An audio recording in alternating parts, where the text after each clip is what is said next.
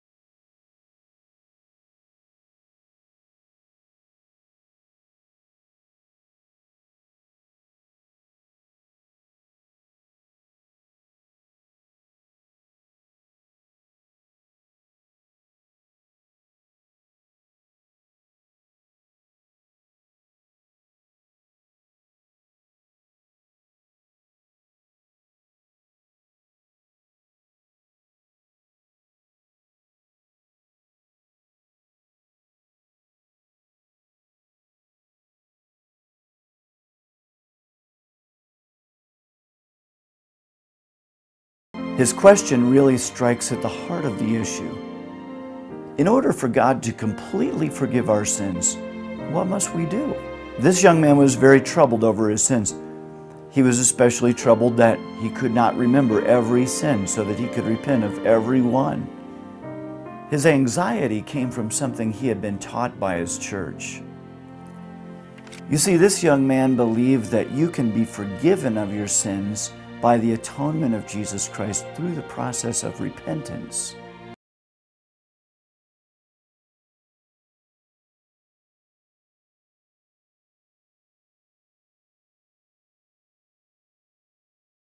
might say that he took this too literally. After all, Heavenly Father knows our hearts.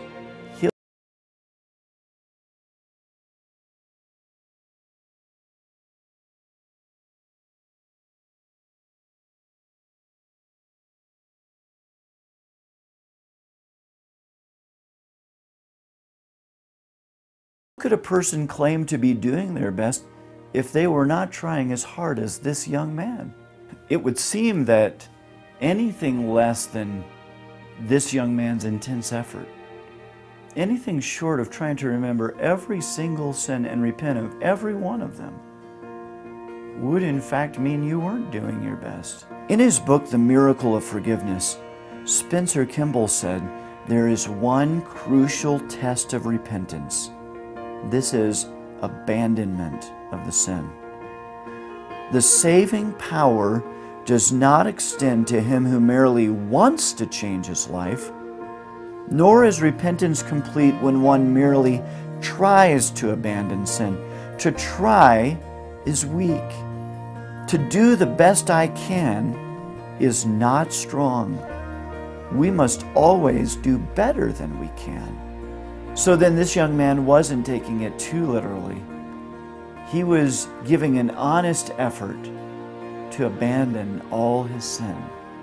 In fact, compared to him, many people treat their sin and their need to repent with entirely too much indifference. And furthermore, if repeating the sin brings all former sins back, undoing any forgiveness that we may have experienced in the past then we must be even more careful, relentless, I would say, in trying to repent of all of our sins. Doctrines and Covenants 82 7 says, And now verily I say unto you, I, the Lord, will not lay any sin to your charge. Go your way and sin no more. But unto that soul who sinneth, shall the former sins return. saith the Lord your God.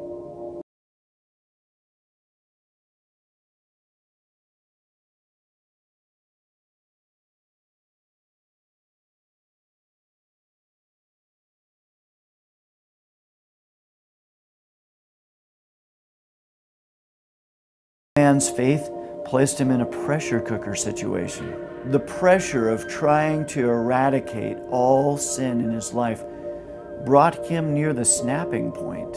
Someone has accurately characterized this as the impossible gospel.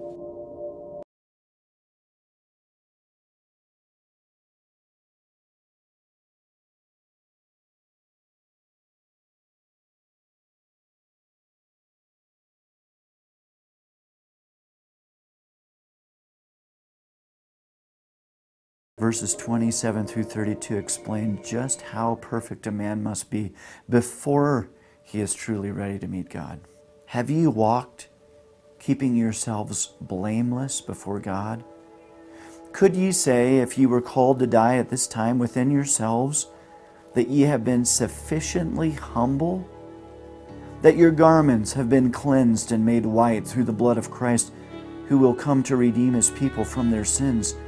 Behold, are ye stripped of pride? I say unto you, if ye are not, ye are not prepared to meet God. Behold, ye must prepare quickly, for the kingdom of heaven is soon at hand, and such an one hath not eternal life.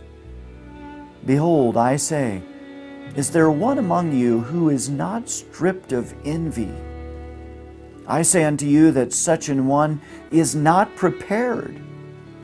And I would that he should prepare quickly, for the hour is close at hand, and he knoweth not when the time shall come, for such an one is not found guiltless. And again I say unto you, Is there one among you that doth make a mock of his brother, or that heapeth upon him persecutions? Woe unto such an one, for he is not prepared and the time is at hand that he must repent, or he cannot be saved. Yea, even woe unto all ye workers of iniquity. Repent, repent, for the Lord God hath spoken it. Now, if forgiveness comes through the atonement of Jesus Christ, and if the atonement of Christ does not fully apply until the individual repents, and if repentance means eradicating all sin, then it is impossible to obtain the forgiveness of Christ. Ever. Now, I'll be the first to admit that God's law does, in fact, demand perfection. James chapter 2 and verse 10 makes this very plain. For whosoever shall keep the whole law and yet offend in one point, he is guilty of all. The Apostle Paul plainly expressed the impossibility of eradicating all of our sins. In the seventh chapter of Romans, Paul said this For I know that in me, that is, in my flesh, dwelleth no good thing. For the will is present with me, but how to perform that which is good, I find not. For the good that I would, I do not but the evil which I would not, that I do. Now, if I do that I would not, it is no more I that do it, but sin that dwelleth in me. I find then a law that when I would do good, evil is present with me. For I delight in the law of God after the inward man, but I see another law in my members, warring against the law of my mind, and bringing me into captivity to the law of sin which is in my members. Here is the Apostle Paul in front of God and everybody confessing his own inability to overcome sin in his own life, to free himself from captivity, to free himself from the slavery that he was in to sin. Apparently, the Apostle Paul did not believe that he himself had eradicated all sin in his life. And furthermore, he didn't believe that was possible. Thankfully, the gospel found in God's Word is neither hopeless nor is it impossible. In Romans 7, when the Apostle Paul bewailed his own personal bent towards sinning, he cried out, O wretched man that I am, who shall deliver me from the body of this death? And then in the very next verse, he answered his own question I thank God through Jesus Christ our Lord. Eradicating sin never was, never has been God's purpose for the law. The law cannot justify anyone. The law can only condemn. The law says, The soul that sinneth, it shall die. The Bible says in Galatians 2:16, knowing that a man is not justified by the works of the law, but by the faith of Jesus Christ. Even we have believed in Jesus Christ, that we might be justified by the faith of Christ and not by the works of the law. For by the works of the law shall no flesh be justified. That is good news. And that is because God did not give us the law in order to show us how we could be forgiven. God gave us the law for an entirely different reason. Romans 3:19 says, "Now we know that what things soever the law saith, it saith to them who are under the law, that every mouth may be stopped and all the world may become guilty before God. God gave us the law to show us our sin and our guilt.